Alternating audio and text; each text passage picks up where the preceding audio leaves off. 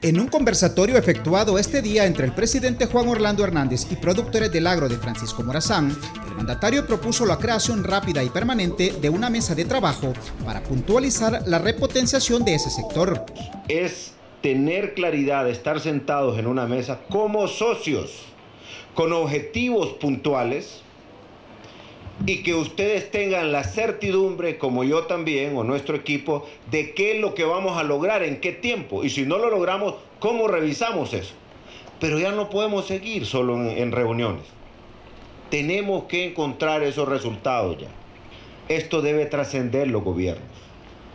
No importa quién esté, debe de ser una política del Estado de Honduras el agro como prioridad.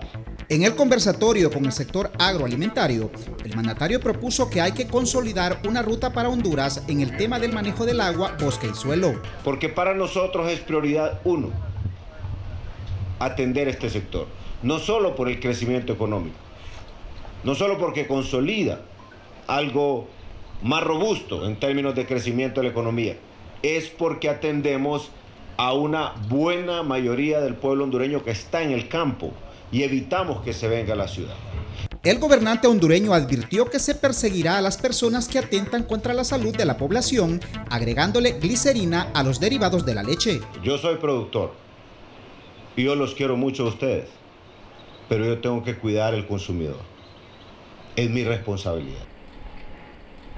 Ese tema no lo podemos esconder, compañeros porque ustedes están haciendo bien su trabajo, le venden a alguien más, pero ese alguien está cometiendo un ilícito. El presidente de la Federación Nacional de Agricultores y Ganaderos de Honduras, FENAC, Leopoldo Durán, destacó el apoyo que este sector ha estado recibiendo del gobernante desde que era titular del Congreso Nacional.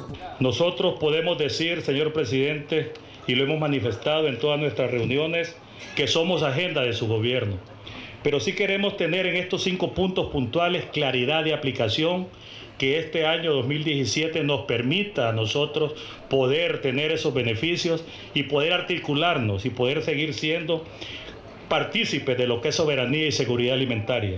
En el conversatorio participaron los productores de la región, así como la Cámara Hondureña de la Leche, la Asociación de Agricultores y Ganaderos de Francisco Marazán, AGAFAM, entre otros sectores. El mandatario fue acompañado por el secretario de Agricultura y Ganadería, Jacobo Paz, el comisionado presidencial para el sector agroindustrial, Julio Aparicio, y el director de Banprovi, Juan Carlos Álvarez, entre otros funcionarios.